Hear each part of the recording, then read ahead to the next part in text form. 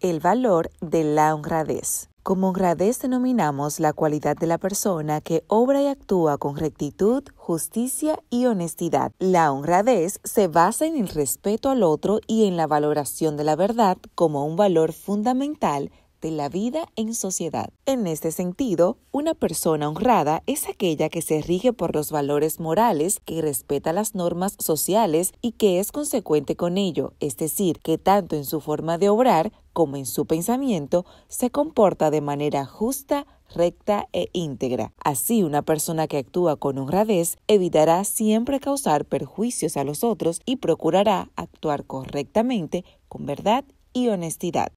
¿Y tú? ¿Practicas el valor de la honradez?